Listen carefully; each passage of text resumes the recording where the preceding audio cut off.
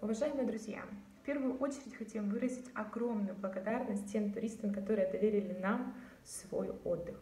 В связи с срочным заявлением СНБО, которое прозвучали вчера ближе к ночи, мы вынуждены подтвердить и сообщить вам, что в Украине с 17 марта 00 часов будут прекращены гражданские авиаперевозки сроком на 14 дней.